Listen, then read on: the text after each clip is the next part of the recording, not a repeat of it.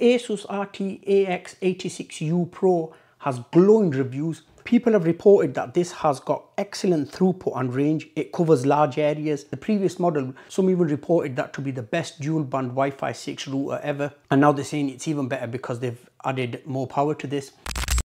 AI mesh, I love the AI mesh feature on ASUS. Mobile game boost, 2.5 gigabit port, 2.0 gigahertz quad core, AI protection, three year warranty, some information on this side. Some information on this side. We have some information at the back. So this is marketing basically letting us know that Wi-Fi 6 is a lot faster than Wi-Fi 5. The bubble here, that's AI protection. That is by Trend Micro. It's not by ASUS, so you will need to give them permission. There are two ways to set this up. You could use the ASUS app or you could use your computer. If you want to pick this up or know more about it, I will leave a link in the description box below. If you find the video useful, please leave a like and please subscribe to watch more reviews. Advanced Wi-Fi helper tip. Some paperwork in here. Quick setup guide. And it really is quick. Honestly, it's really easy to set up ASUS routers. You could get the app from App Store or Google Play. Cat5e Ethernet cable, 3 antenna, UK adapter which I'll need, European adapter, power supply. Some information there, I don't know if you'll be able to pick that up if you're interested. And it is a barrel type one. So we get three antennas, what we need to put on, and there's one built in. That's what they look like from the bottom. It's a nice compact size this.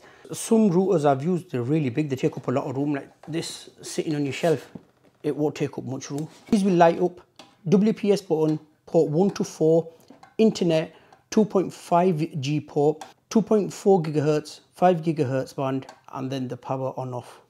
On the side, we have a WPS button here. On this side, LED on off button. At the back here, we have DC in, power on off, reset, 3.0 USB, 2.0 USB, that's for printers or file sharing, if you have internet plan more than a gig, use the 2.5G port. If you have a plan that's 1 gig or under, use this blue port, which is 1 gig. We have four 1 gigabit Ethernet ports. One has gaming written on it. So if you've got four computers hooked up, the computer that's hooked up to the port that says gaming, that will get priority over the other three computers.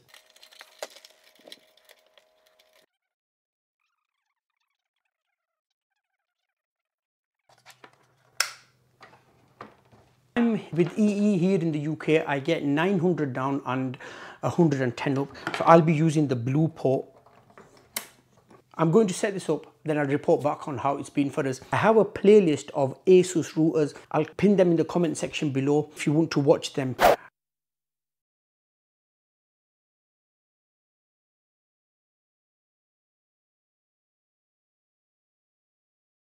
I'm in my back garden. The router is in the hallway, center of the house. I'm using my Samsung Galaxy S21 Ultra, which is Wi-Fi 6E.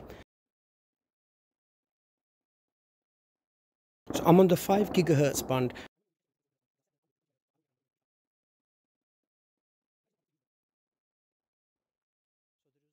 I have now connected to the 2.4 gigahertz band.